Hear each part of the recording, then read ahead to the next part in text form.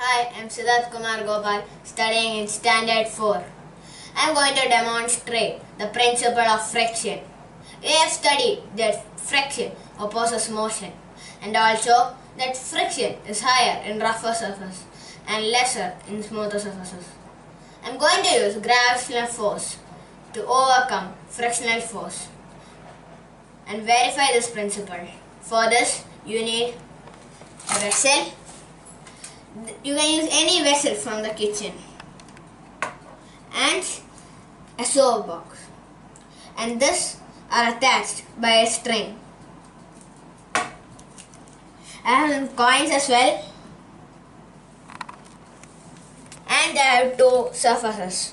One is a rough surface, the sandpaper surface, and the next one is a smooth surface, a silicone.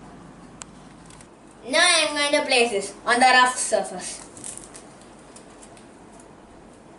The empty weight of the vessel is not sufficient to move the soap bar. Now let's add some coins.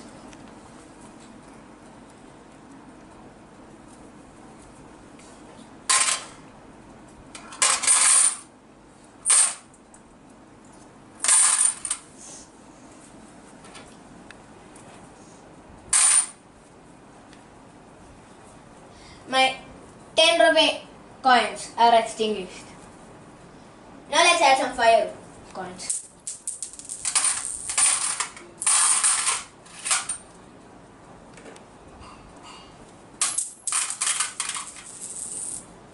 Now let's add some 2 rupees.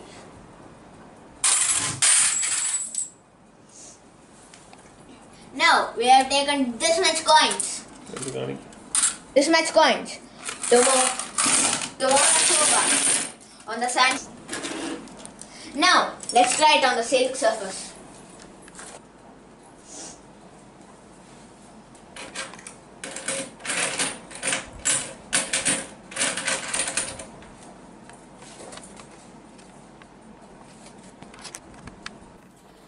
Now I have placed it on the silk surface, but still no.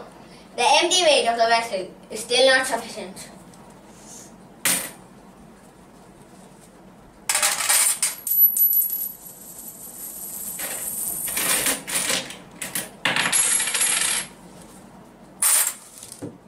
You see? It's only taken this much coins for it, for the soap bar, to move down the silk surface. Now we can conclude that the silk surface is more smoother than the sandpaper surface and it has less friction. Thank you.